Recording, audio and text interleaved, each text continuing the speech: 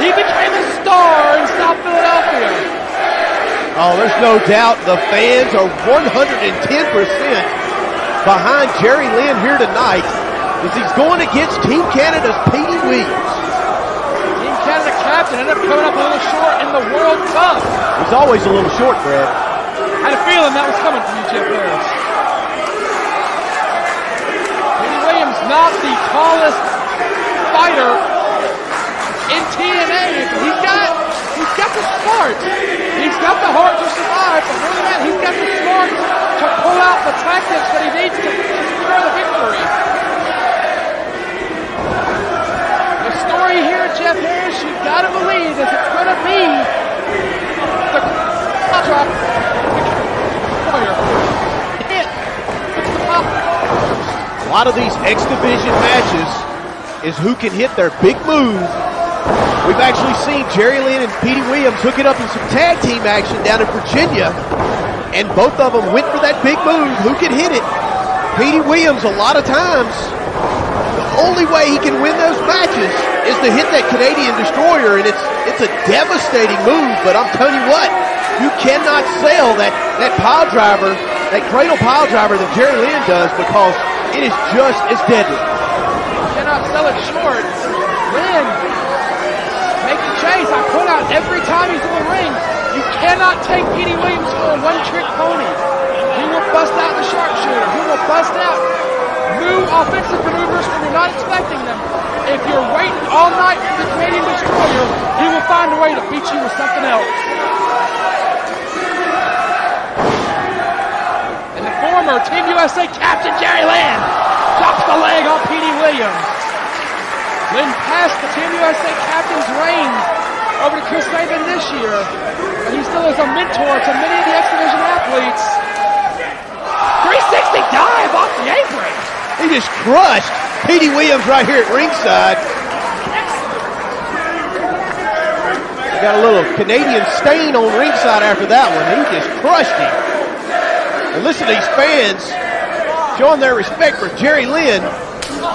Big forearm across the back.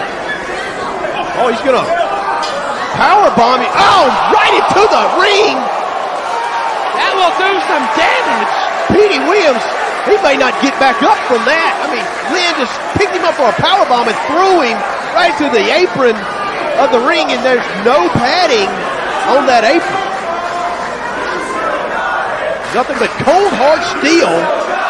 That's what he just bounced Petey Williams off of. Crowd here in Philadelphia chanting, you've still got it at Jerry Lynn. Petey Williams, I think, would hesitantly agree.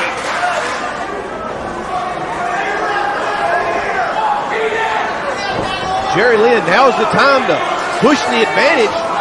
Grab Petey and try to hook it up because he, look at Petey able to grab his tights and fling him through the ropes. And I believe Jerry Lynn hit his knee on that ring barrier. Jerry Lynn, another former world champion for the company that used to occupy this building. Also one of the more decorated athletes in TNA. Held the X Division title and the NWA World Tag Team titles. Petey able to counter that maneuver by Jerry Lynn and ended up dropping Jerry right across that ring barrier, throat first. Fans encouraging Jerry Lynn to get back to his feet. Petey looks like he's still suffering from that power bomb when he's thrown to the side of the ring is he's not moving fast, and he usually is. I think it's a it's a horrible situation to find yourself in when you know you're fixing to get dropped on the concrete. But once you brace yourself for that, and then all of a sudden you're hitting the ring apron, it's so jarring. I think that would be harder to, to recover from than anything. Got Jerry Lynn hooked upside down in the corner. We're going to do a little singing, Jeff Harris. He's thinking about it. Wow, Petey Williams did not want to give the Philadelphia fans something to sing along to. A show of sportsmanship by Petey Williams, and the fans replied by booing him. I think it was more spite. He, he didn't want the fans to sing along to the anthem. The, the Philly fans do that too. But Jerry Lynn giving the fans what they wanted to see. Lynn with a couple of bars at the American national anthem.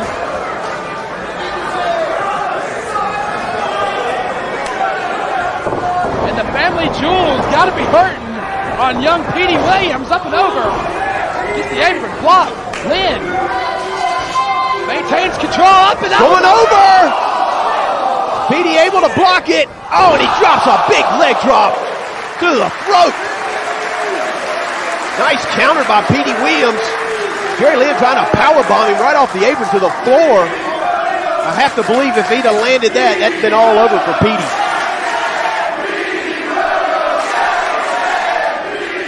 Moving to the dueling chant.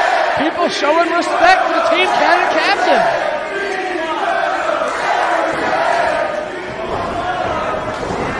Going for the cover, but I don't think you're going to get a three count after that. You've got to put some more punishment on Jerry Lynn. Now he's got a form of the Cobra clutch here. Well, he's got now he's got both arms tied together. Going to try to choke Jerry Lynn out of this hold. I don't believe you're going to you're going to put Jerry Lynn out with that. Referee's in great position to check. And Philadelphia breaks Lynn back to his feet. At one point he was called the new effing show because he stole it every time. But Petey Williams puts the drop kick in the back. Only two. As the fans remind uh, the referee it was a two count. We all got it was a two. Petey looking frustrated for sure. He's hit some mighty big moves for a little guy like that on Jerry Lynn, but he can't keep him down for the three. We talked about it with Brother Runt. He has not hit his ace yet. He has not hit his signature move. And I think that really is, if you'll pardon the pun, the money in the bank for Petey Williams. Another drop kick to the back. Jerry Lynn still able to kick out.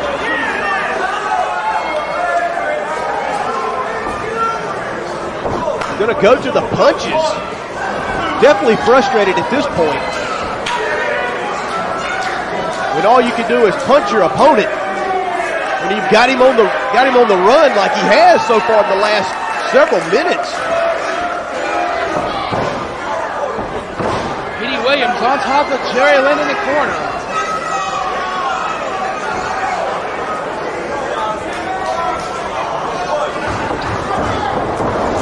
Whipping to the turnbuckle, off the ropes. Oh, but Jerry Lynn, what a counter!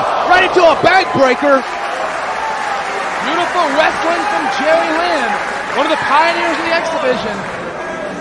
We've already seen Williams take a lot of high impact moves to his back, and that backbreaker couldn't have been more perfectly placed to add to that punishment he's delivered so far on his back. Petey, I would say it gets shorter, but he disappeared, but he's not going to be doing much after that. Jerry Lynn bringing the right hands to the side of the head. Irish whip up and over, high backdrop.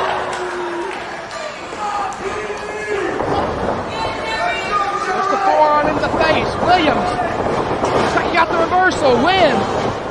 Drop kick to the back. Was Bobby Roode's Northern Lariat right there from Jerry Lynn.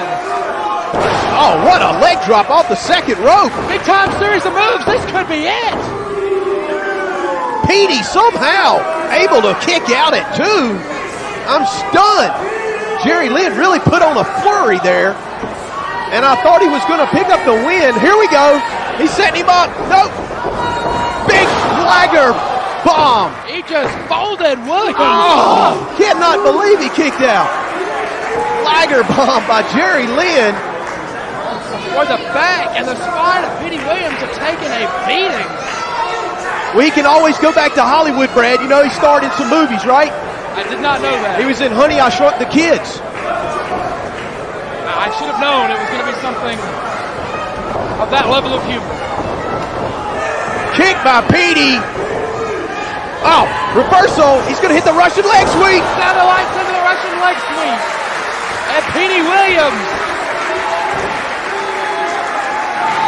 vertically challenged or not, is signaling for the Canadian Destroyer.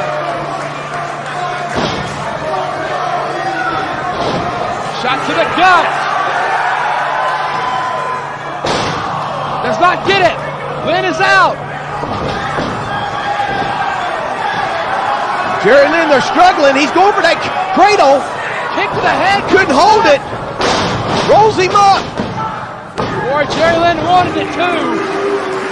Both these men going for their signature finisher move. He wanted to spike the Team Canada captain. And now we're going to see that sharpshooter. The sharpshooter is on. Thank God oh, Earl Hebner's not refereeing this one or it'd be over. Some fans behind Petey Williams wanting to see the tag. Referee right there in position. He's checking with Jerry Lynn. Jerry Lynn's shaking him off. Right there you can see just just maybe two feet from the rope. That was that. excellent move by Petey Davis. Oh, wait a minute. Reversal by Jerry Lynn. He's going to hook it on himself. He's got the sharpshooter now. And Lynn with the sharpshooter on Petey. Petey not too far from the ropes, but he's got to make it. If he were taller, he might be in the ropes, Jeff. He made it. He was able to get up on his elbows, which took gave him the opportunity to move closer to the ropes to get that break. But as much punishment as he's taking on his back, I will be shocked if Jerry Lynn is not able to pull out the win at this point, especially after that sharpshooter. Go behind. Petey trying to block. He's got it blocked. Up high. Could be going for that TKO type maneuver. Oh, and he ripped the eyes of Jerry Lynn to get out of it. Oh, he's hooking him up for the destroyer. He's got it. Oh, my Lord. He hit it. Lynn is out. And Petey Williams, just like that, that one big move, that knockout punch, picks up the win over Jerry Lynn. At Hardcore War, the Canadian Destroyer has bested the Cradle Pile Driver, but nevertheless, Jerry Lynn did come home to South Philadelphia and what a tremendous match out of Jerry Lynn, no longer actively competing every weekend, but a tremendous effort against a younger and faster and quicker Petey Williams. It was a tremendous bout, Jeff Harris. And just as you said, just as we speculated, the Canadian Destroyer made the difference here at Hardcore War.